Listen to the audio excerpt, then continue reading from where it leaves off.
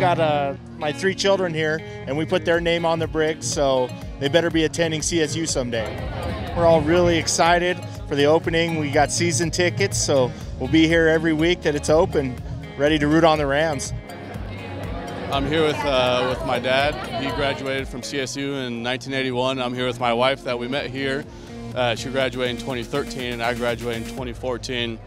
Uh, just here to check out this beautiful stadium that we've been waiting for for the construction and getting the updates, and it's looking for our brick that we have so anxiously been waiting to see, and it's just beautiful. And see everybody out here is, is awesome. This is uh, very emotional.